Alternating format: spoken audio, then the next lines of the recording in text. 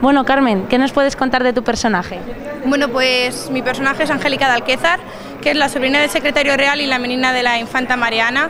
Y bueno, tiene una relación así con Íñigo Balboa de amor-odio porque le da una de cal y una de arena, pero yo creo que os va a gustar mucho. ¿Y cómo es la familia Alquézar?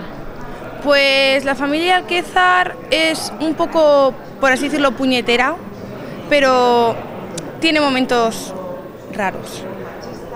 ¿Qué es lo que se van a encontrar los espectadores que vayan a ver las aventuras del Capitán Alatriste? Pues yo creo que hay muchas batallas, hay mucha acción, hay mucha intriga, hay mucho amor y yo creo que es una serie que va a gustar mucho. ¿Cómo ha ido el rodaje? ¿Cómo es eh, rodar en el extranjero? Pues estuvimos durante seis meses viviendo en Budapest y formamos todos una gran familia y la verdad es que lo pasamos inolvidable y fue genial. ¿Y durante seis meses has aprendido algo del idioma? Pues la verdad es que aprendí un poco húngaro, sí, estuvo muy bien. ¿Y alguna anécdota graciosa que nos puedas contar del rodaje? Pues ahora mismo que yo recuerde...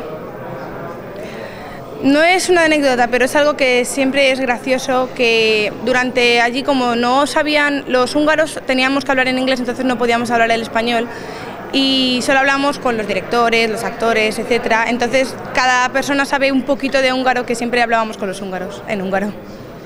¿Y cómo ha sido la preparación de tu personaje?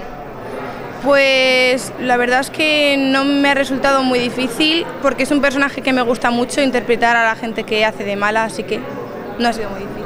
¿Y la caracterización de, de vestirte con vestidos de época, cómo ha sido?